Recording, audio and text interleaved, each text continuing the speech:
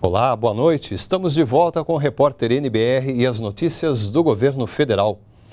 Uma segurança a mais para os beneficiários do Bolsa Família. O valor do benefício foi reajustado. O aumento ultrapassa o valor da inflação acumulada de julho de 2016 a março de 2018. A vida de Onilde nunca foi fácil. Dois dos três filhos dela têm problemas de saúde. Para conseguir cuidar dos pequenos, teve de parar de trabalhar.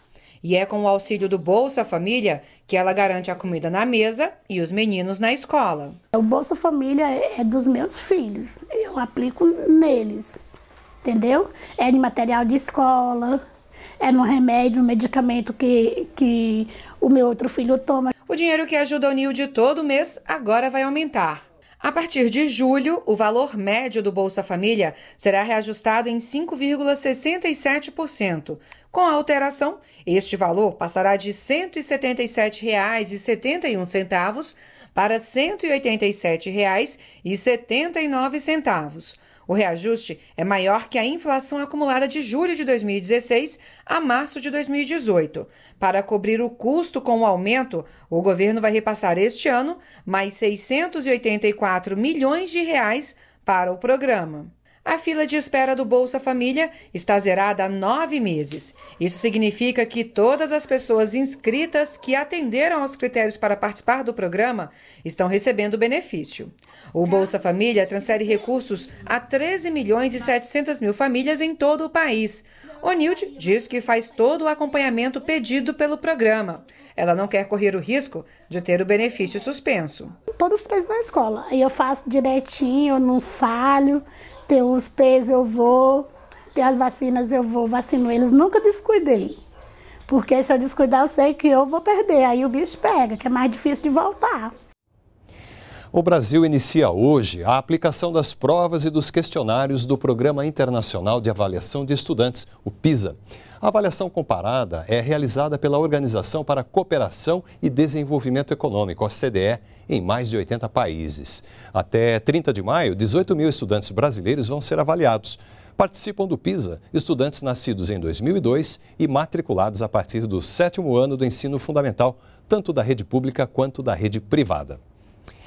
O presidente Michel Temer nomeou hoje Alexandre Parola como novo diretor-presidente aqui da Empresa Brasil de Comunicação, a EBC. Parola é diplomata, vinha atuando como porta-voz da presidência da República e assumiu o cargo hoje. A empresa EBC gere uma série de veículos como a NBR e a Voz do Brasil, além de diversas emissoras públicas, a exemplo da TV Brasil e da Rádio Nacional da Amazônia. Parola destacou o diálogo e o trabalho como as palavras que vão nortear o seu trabalho na IBC. Eu estou muito honrado de assumir esse cargo hoje. É, eu venho tomando pé da situação, me, me informando sobre a empresa já tem talvez 10 dias e estou muito feliz de chegar aqui. A minha, a minha primeira impressão é de uma equipe muito profissional, muito preparada e que está perfeitamente pronta para responder os desafios da comunicação pública no Brasil. Esse é o desafio com o qual estou comprometido. Eu venho me somar, na verdade. É, seria pretensioso no momento de chegada eu ter um plano de trabalho abrangente, mas eu tenho duas palavras-chave: é diálogo e trabalho. Né? Eu estou aberto a conversar com as pessoas, eu estou aberto a ouvir, eu acho que isso é essencial. Então eu venho aqui para somar os esforços. Eu herdo uma empresa que foi muito bem administrada pelo presidente Lerte Rimoli, eu tenho uma honra de herdar, de receber essa, essa missão das mãos dele, por indicação do presidente da República. E agora há pouco, o presidente Temer recebeu o presidente da montadora de veículos Toyota do Brasil, Rafael Chang. Depois da reunião, ele anunciou que, a partir de novembro, será instituído o terceiro turno de trabalho nas fábricas de Porto Feliz e Sorocaba, no estado de São Paulo. Somadas as novas oportunidades que serão abertas na rede de fornecedores, serão mais 1.500, 1.570 empregos no país. E o presidente da República, Michel Temer, encaminhou para o Senado a lista com os nomes de cinco diretores para a Agência Nacional de Mineração, que foi criada no ano passado para dinamizar o setor. Nós vamos agora ao Palácio do Planalto, onde o repórter João Pedro Neto conversa com o secretário de Geologia e Mineração do Ministério de Minas e Energia sobre a mineração no país. Olá, João Pedro, boa noite para você. Oi, Roberto, boa noite para você, boa noite a todos. É isso, Roberto, essas indicações foram feitas então nesta quarta-feira pelo presidente Michel Temer e pelo ministro de Minas e Energia, Moreira Franco. São cinco nomes aí para compor, a diretoria da Agência Nacional de Mineração, órgão que foi criado aí no ano passado para substituir o Departamento Nacional de, Miner... de Produção Mineral, DNPM, é, na regulação e fiscalização do setor.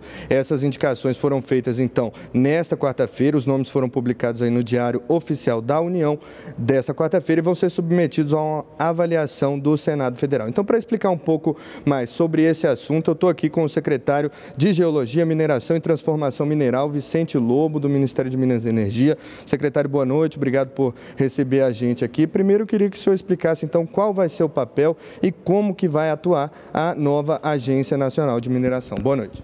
Boa noite a todos, boa noite a todo mundo, um prazer, satisfação grande estar com vocês.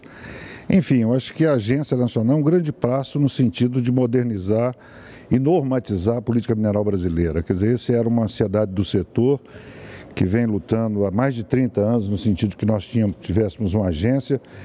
E a agência que significa que nós vamos ter um órgão realmente que precisava haver, no caso, porque na verdade o DNPM prestou serviços essenciais para a mineração brasileira e serviu a mineração até aqui.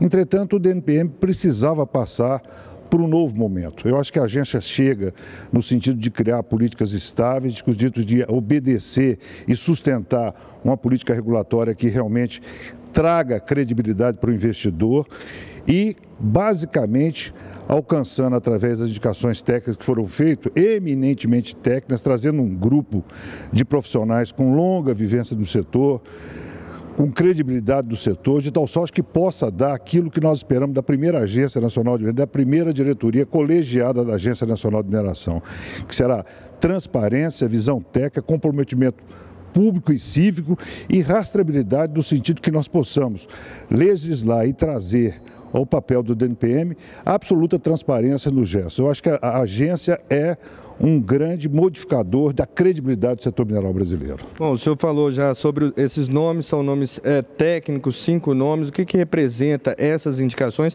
e quais são os próximos passos aí para de fato implementar essa agência para ela começar a atuar na prática? Bom, precedida da lei que foi votada através da medida provisória no Congresso e no Senado, a Secretaria de Geologia e o Ministério de Minas e Energia coube fazer a regulamentação desses atos. Né? Primeiro, um decreto que se encontra na Casa Civil da efetiva instalação da agência. E segundo, um decreto que estabelece a estrutura é, governativa, estrutura funcional da casa.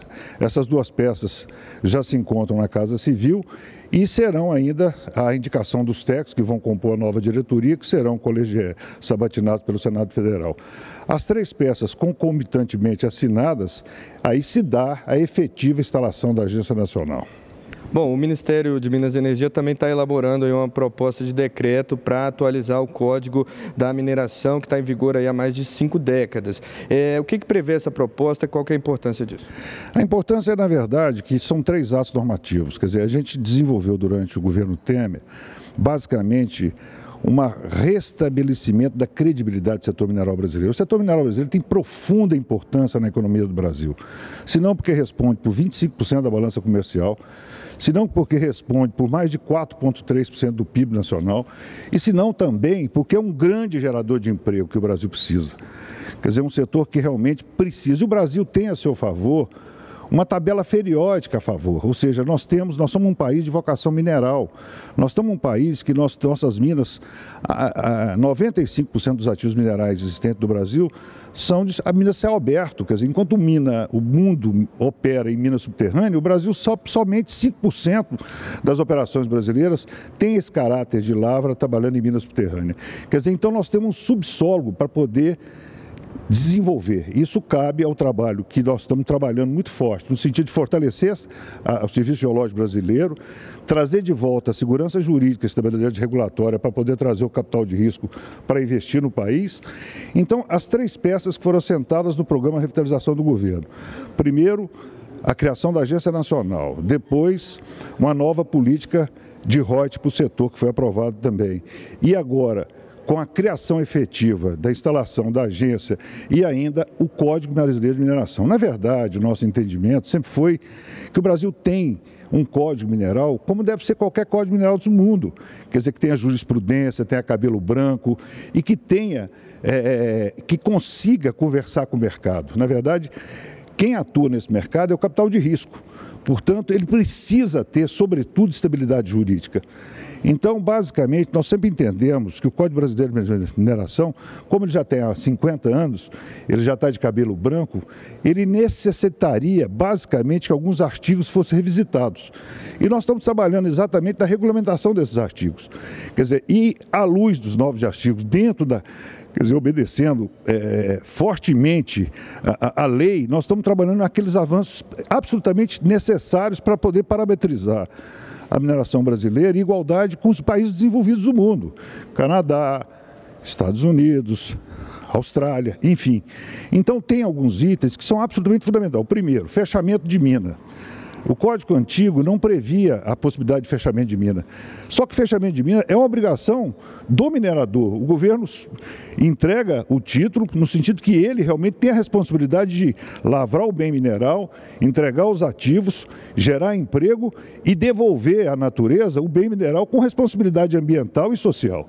Então isso agora está sentado. Um outro, outro assunto que também está sentado, extremamente importante, é a possibilidade do minerador dar continuidade na pesquisa depois da entrega de lotes normativos, como o, o, o, requerimento de lavra, requerimento de pesquisa. Quer dizer, isso, a, a, pesquisa deve existir durante a vida útil do bem mineral. Portanto, traz alguns avanços que são absolutamente significativos, importantes para o desenvolvimento da mineração brasileira e para o fortalecimento do país. Obrigado, secretário, pelos esclarecimentos, pelas informações. A gente podia continuar conversando aqui mais um tempo, mas eu preciso voltar com você no estúdio. Roberto, boa noite. Está certo. Muito obrigado, João Pedro, e ao secretário, a você e ao secretário pelas informações. E nós ficamos por aqui. Continue com a gente na NBR, a TV do Governo Federal.